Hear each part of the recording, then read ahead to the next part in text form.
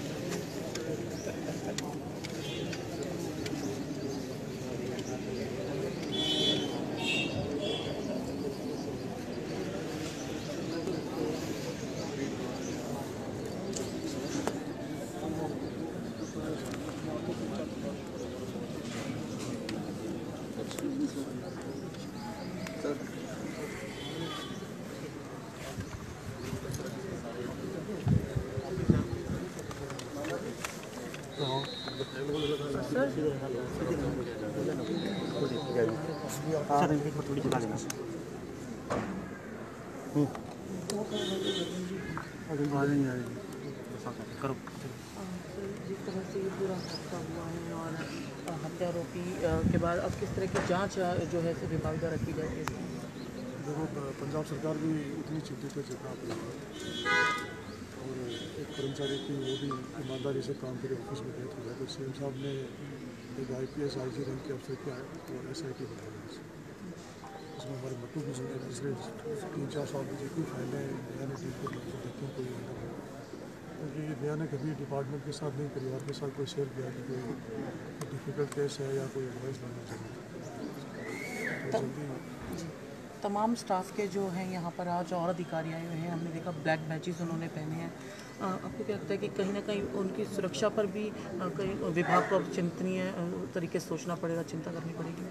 सुरक्षा के कराएँगे इंतज़ाम लेकिन ऐसे इंसिडेंट मोस्ट अनफॉर्चुनेट होते हैं। कई बार कई बार मुलाजिम को पता होता है कि खतरा है तो प्रिकॉशन ली जा सकती है अब ये सडनली फिर खुद का सुसाइड करना तो है, सारी इंक्वायरी में देखो क्या आता है। इस समय परिवार के साथ है पूरा और बेटी का जॉब सिक्योर करना रिटायरमेंट तक पूरी तनख्वाह देना। जी। टैक्स की वजह से दस बारह लाख के सर ये एक, बताएँ कि आप पहले भी जैसे आपने बताया कि हेड कर रहे थे डिपार्टमेंट को अब दोबारा से कर रहे हैं। तो क्या चेंज आया है जो ड्रग इंस्पेक्टर के जो प्रोफ़ाइल में इन सब के प्रोफ़ाइल में कोई जॉब में चेंज आया कोई ज़्यादा रिस्क बढ़ा है डेंजर बढ़ा है?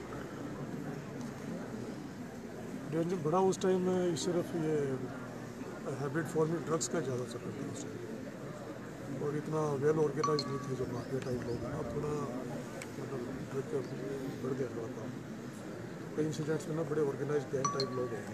पता नहीं, नया इन्हीं का विक्टिम बनी है, क्या बनी बात क्या बिल्कुल ठीक करेंगे कुछ जो ड्रग पेडलर्स हैं, काफ़ी ऑर्गेनाइज होते हैं गया सर, इस कार्यालय के बाहर कोई सिक्योरिटी वगैरह का कोई प्रोविज़न नहीं था अब तक?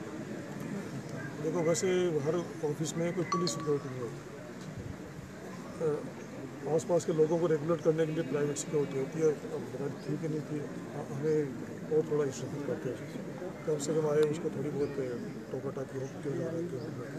नशीली दवाइयों से संबंधित है उससे रिलेटेड ही यहाँ पे नशीली दवाई नहीं यहाँ बड़े सेंसिटिव उससे भी सेंसिटिव है वो हमारे जो मिश्रा आते हैं फॉरेंसिक के लिए वो भी बहुत उसी में फ़ूड लैब भी उसी में तो क्या इसमें माफिया का भी हाथ हो सकता है सर? ये ड्रग माफिया का जो ये अटैक हुआ है या मर्डर हुआ है?